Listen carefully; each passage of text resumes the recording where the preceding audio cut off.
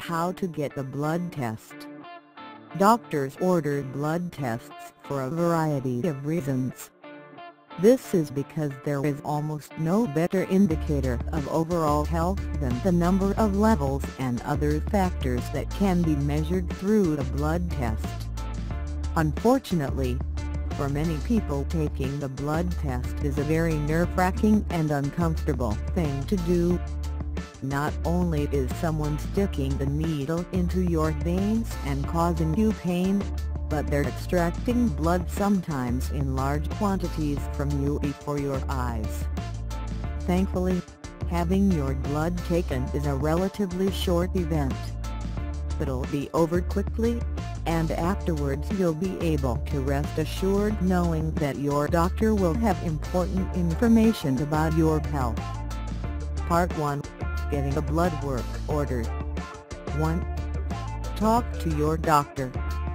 The best person to determine if your signs or symptoms demand a blood test is your doctor. If you need one, she will prescribe it and provide you with a blood work order. If your doctor orders blood work, make sure you have it done as soon as possible. If you're afraid or anxious about the blood work itself or the potential results of the blood test, talk to your doctor. She can reassure you. The best way to treat what is causing you heat issues is to identify the problem. The results of your blood test can help you begin proper treatment make sure to listen to and talk to your doctor about any special instructions and things you may need to do before the blood is taken. 2. Discuss blood work with a nutritionist. You might need your blood work ordered for non-medical purposes. One of these purposes is to ascertain if your diet and nutrition is what it should be to support your overall health. In this instance, consult a nutritionist and see if he wants to order blood work to determine your vitamin and mineral levels and to find out if you have any deficiencies that should be addressed. You might consult a nutritionist in the case of pregnancy the advice of a medical professional you have diabetes, absorption abnormalities, and slash or food sensitivities slash allergies if you are a vegetarian, vegan, or subscribe to any other non-traditional diet. 3. Talk about potential blood work with a sports medicine doctor. If you are an athlete, suffered from certain muscular problems, or have suffered some sort of muscular injury, your sports medicine doctor might also order blood work. Blood work can tell your sports medicine doctor a lot of information about muscular health and potential problems like arthritis and similar afflictions. Ultimately, your sports medicine doctor will be the best person to decide if you need blood work related to skeletal and muscular health. For Consult with your naturopathic specialist about blood work. Naturopathic specialists are doctors combine natural remedies and medical science to treat an array of afflictions.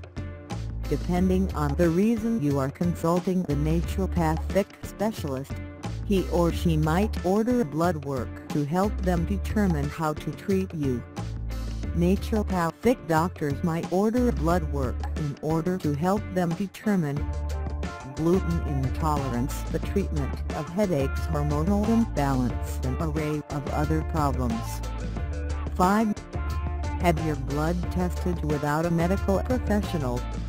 Today, Many labs are increasingly allowing individuals to have their blood drawn and tested without an order or prescription from a medical professional. If you for some reason want to have your blood tested, you may be able to find a lab that will test your blood without any blood work ordered. For more information, contact local blood testing labs in your area just because you have this option, however, does not mean you should do it. Getting your blood tested without the help of a medical professional is not recommended. Consider the following. If you order your own blood work, you won't have the ability to have a doctor interpret it for you and then prescribe a treatment, if needed. Many tests need to be interpreted by a medical professional. Information on the internet is not always credible. You may want to get your blood drawn and use information you found online to interpret the results but, this is not a reliable way to read test results. Even if you read the test results correctly, you may be unable to get the treatment necessary without a doctor to write a prescription. Some labs only offer a handful of blood tests without a doctor-prescribed blood work order. This service might not be available in your area. Part 2. Having your blood drawn 1. Prepare for your blood test depending on the type of blood work your doctor or other medical professional has ordered. There are a number of things you need to do to prepare for the test.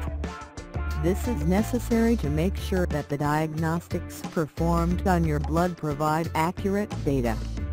Some preparations could include not eating or drinking for up to 12 hours, discontinued use of certain medications, other preparations as ordered by your doctor. 2. Take your prescription to a hospital or lab. After your doctor has evaluated whether you need blood work or not, take your prescription to a hospital or lab.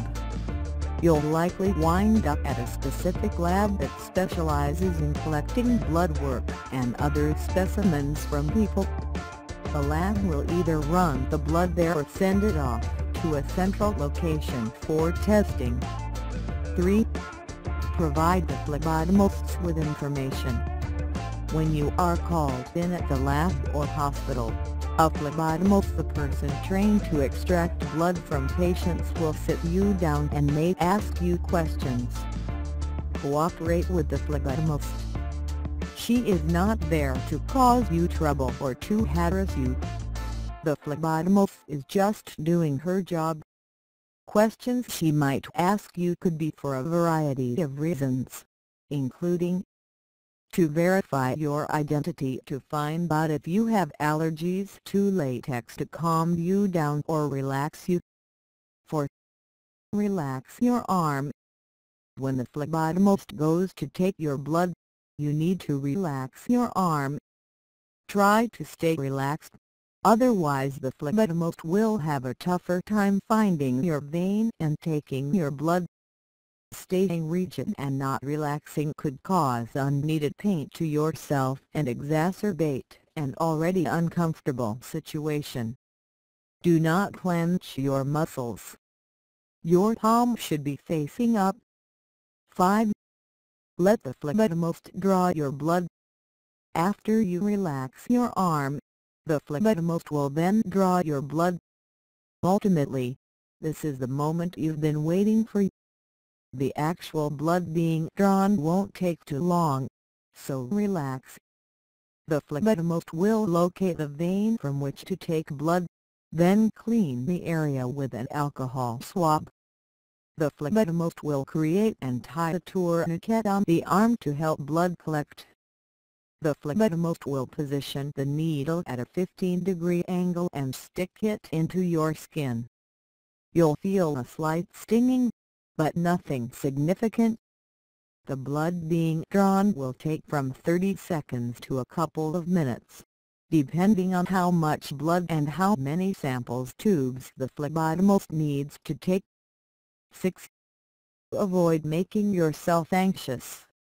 As the phlebotomist is drawing your blood, try to avoid doing things that might cause you anxiety, and push negative thoughts aside. If the sight of blood makes you feel faint, don't look at the blood being drawn out of your arm. If you're fascinated by it, feel free to look. Just remember, This is a normal and necessary procedure that needs to be done to determine your health. The blood drawing procedure itself won't hurt you. Close your eyes and hum if that helps. Think about something else if you get anxious. Joke with the phlebotomist or talk about anything but the fact that blood is being drawn out of your arm